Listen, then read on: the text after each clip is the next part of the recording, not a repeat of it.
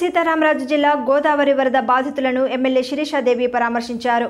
కూనవరం నుండి బోటులో బయలుదేరి శ్రీరామ్గిరి చుక్కనపల్లి గ్రామాల్లో పర్యటించి వరద బాధితులకు నిత్యావసర వస్తువులను అందజేశారు. ఈ కార్యక్రమంలో ఎమ్మెల్యేతో పాటు విజయ్ భాస్కర్ జిల్లా కలెక్టర్ దినేష్ కుమార్లు పాల్గొన్నారు.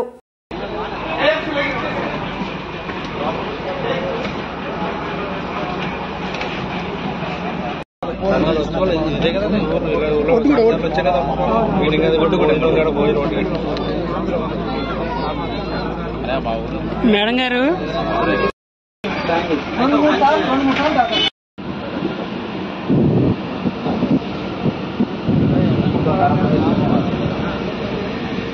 ఆ మొహం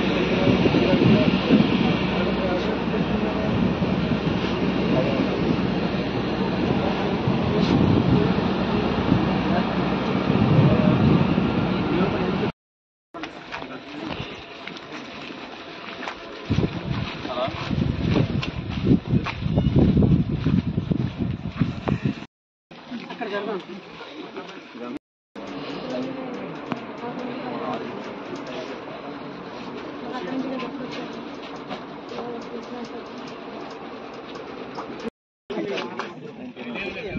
మీటింగ్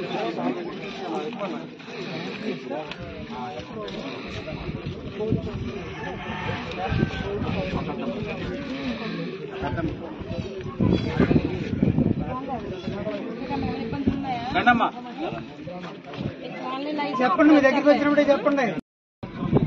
చెప్పండి.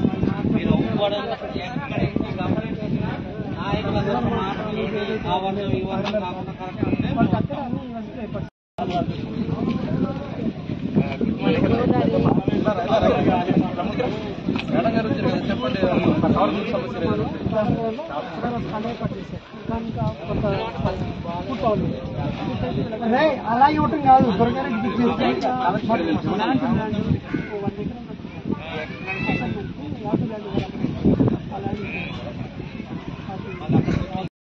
అది అలా జరగడం వల్ల ఇక్కడ ఉన్న వాళ్ళు వెళ్తా గిట్టుపడుతుంది అన్ని ఇచ్చినా కొంతమంది వెళ్తా గిట్టుపడుతుంది పంచదార వ్యాసం ఇక్కడికి మేము ఎప్పటి నుంచి బాధపడుతున్నాం అంటే నాలుగు సంవత్సరాల నుండి ఇదే ఇప్పుడు తక్కువ గోదావరి వస్తున్నారు. నాలుగు సంవత్సరాలు చాలా ఇబ్బందులు పడుతున్నాం